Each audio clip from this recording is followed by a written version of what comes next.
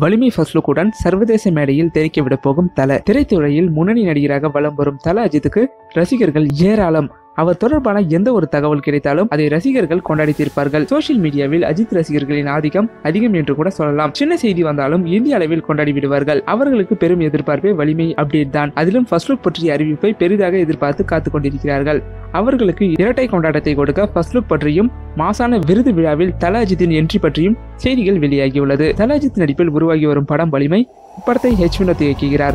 போனி கபூர் தயாரிக்கிறார். இப்படம் கடந்த இரண்டாயிரத்தி பத்தொன்பதாம் ஆண்டு இறுதியில் பூஜையுடன் தொடங்கப்பட்டது. இதற்கு பின் எந்தவித அதிகாரப்பூர்வ அப்டேட்டும் படக்குழு வெளியிடாமல் உள்ளது. குறிப்பாக இப்படத்தில் தல அஜித் தவிர யாரெல்லாம் நடிக்கிறார்கள் என்பதை கூட இதுவரை தெரிவிக்கவில்லை. வலிமை படம் கண்டிப்பாக பிளாக் பஸ்டர் தான் என உறுதியாக இருக்கிறார்கள் படக்குழு. சமூக வலைதளங்களில் வலிமை பற்றிய அப்டேட் கேட்டு அஜித் ரசிகர்கள் பதிவிட்டு வருகிறார்கள். இதுவரை எந்த அப்டேட்டும் தராத போனி கபூரை கண்டித்து போஸ்டர் ஒட்டிய சம்பவங்கள் அரங்கேறின. இவை எல்லாத்துக்கும் மேல் கடந்த வாரம் தேர்தல் பிரச்சாரத்தில் ஈடுபட்டிருந்த போது முதல்வர் எடப்பாடி பழனிசாமியிடம் வலிமை அப்டேட் கேட்டு பரபரப்பை ஏற்படுத்தியது. அஜித் ரசிகர்கள் ஒருவர் தனது ஆட்டோவின் பின்புறம் வெயிட்டிங் ஃபார் வலிமை அப்டேட் என எழுதி படத்தின் மீதான தனது ஆர்வத்தை வெளிப்படுத்தியுள்ளார். இது குறித்த புகைப்படங்கள் தற்போது சமூக வலைதளங்களில் வெளியாகி வைரலாகியும் வருகிறது. தற்போதுள்ள சூழலில் வலிமை படத்தின் ஃபர்ஸ்ட் லுக் தொடர்பாக இதுவரை எந்த ஒரு முடிவுமே எடுக்கப்படவில்லை. உங்களுக்கு ஃபர்ஸ்ட் லுக் என்று வெளியான தகவல் உண்மையில்லை என்கிறார்கள். ஆனால் ஃபர்ஸ்ட் லுக்கை தயார் செய்து வைத்துள்ளது படக்குழு. இப்போதைக்கு எந்த ஒரு கொண்டாட்டமும் வேண்டாம். கொரோனா அச்சுறுத்தல் முடிந்தவுடன் ஃபர்ஸ்ட் லுக்கை வெளியிடலாம் என்றும் முதலில் படப்பிடிப்பை முடிப்போம் என்றும் படக்குழு தீர்மானித்துள்ளது. தல அஜித்தும் கண்டிப்பாக ரசிகர்கள் பாதுகாப்பு முக்கியம் என தெரிவித்துள்ளார். அதனால் ரிலீஸ் தேதியும் உறுதி செய்யவில்லை. பிப்ரவரி மாதம் மொத்த படப்பிடிப்பையும் முடிக்க திட்டமிட்டுள்ளனர்.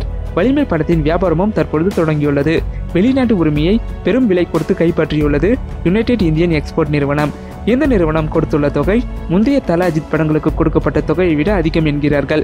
வலிமை ஃபர்ஸ்ட் லுக் பிப்ரவரி மாதம் வெளியாக வாய்ப்பிருப்பதாக செய்திகள் வந்துள்ளன. படப்பிடிப்பு மொத்தமும் முடிந்ததும் ஃபர்ஸ்ட் லுக் போஸ்டர் வெளியிடுவதில் படக்குழு உறுதியாக இருக்கிறது.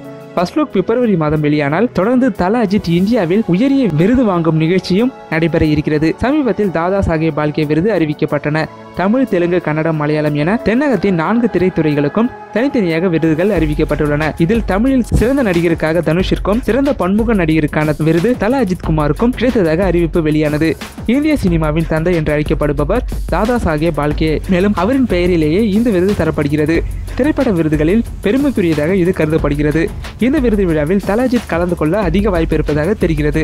வலிமை ஃபர்ஸ்ட் லுக் வெளியானதும் தலாஜித் விருது நிகழ்ச்சி நடந்தால் ரசிகர்களுக்கு செம கொண்டாட்டம் தான் இந்த வீடியோ பற்றின கருத்துக்களை கீழே கமெண்ட் செக்ஷனில் கமெண்ட் பண்ணுங்க. இந்த வீடியோ பிடிச்சிருந்தா லைக் பண்ணுங்கள் ஷேர் பண்ணுங்கள் சப்ஸ்கிரைப் பண்ணுங்கள் மறக்காமல் பெல் ஐக்கான கிளிக் பண்ணிடுங்க.